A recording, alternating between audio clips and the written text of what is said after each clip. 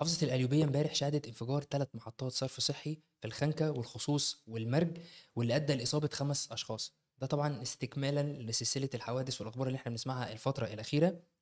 والمعاينة الأولية للانفجار كانت بتقول إن هو حدث بسبب تسرب مواد بترولية وأدت بعد كده اللي هي وصلت لنفق الصرف الصحي واللي أدى برضو بعد كده اشتعال حرائق في منطقتين في القليوبية وده طبعا أدى لإصابة خمس أشخاص في الآخر.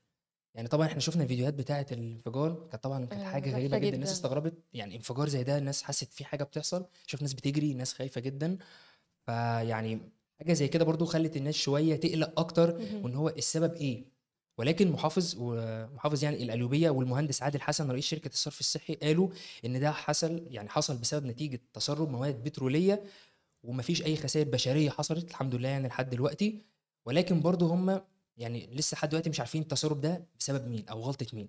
وهي دي المشكلة إن إحنا بنسمع أخبار زي دي كتير الفترة الأخيرة ومفيش برضو يعني سبب معين ليها. فيعني نتمنى طبعا الشفاء العاجل لكل المصابين والحمد لله ما حصلش خسائر بشرية.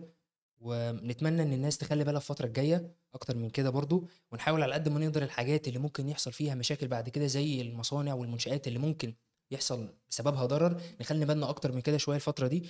خصوصا كمان إن إحنا داخلين على ال- الحر وده طبعا المشاكل اللي فيه بتزيد. آه حاجات حقيقة.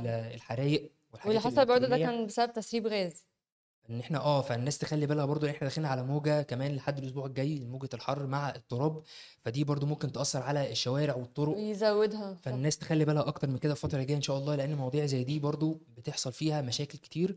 فنتمنى إن شاء الله السلامة لكل الناس وما يحصلش وتتكرر الحاجات اللي زي دي تاني إن شاء الله. يعني إن شاء الله يا رب.